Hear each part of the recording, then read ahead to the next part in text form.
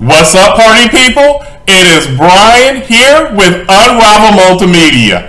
Again, we have another controversial decision in the rematch of Canelo versus Triple G, in which the judges gave it to Canelo by unanimous decision.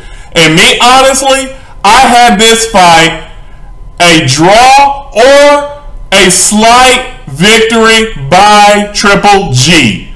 Before I get into announcing this fight, it was an incredible fight. These two guys brought it once again and lived up to the hype.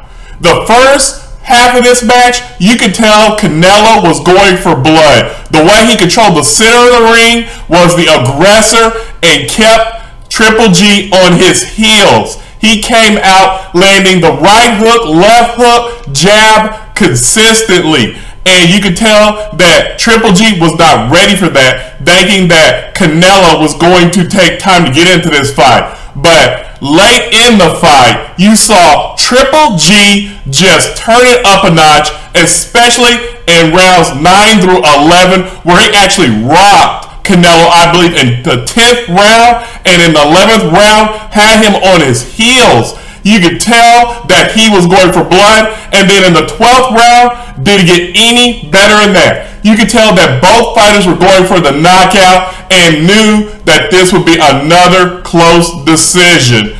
And I want to hear from all you fans out there. Do you honestly believe Canelo won by unanimous decision?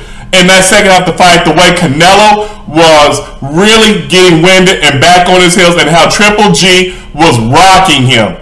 I don't understand how you cannot have this fight a draw or a slight victory for Golovkin. But overall, this was another great fight. And again, I want to see Golovkin or Canelo move on. I don't want to see a third fight. These two guys have put on two great fights. And I want to know, like I said, what did you have this fight scored? And do you agree with the judging? So with that being said, as always, please give this video a thumbs up, share this video, and please do subscribe to Unrivaled Multimedia. And until next time, take it easy.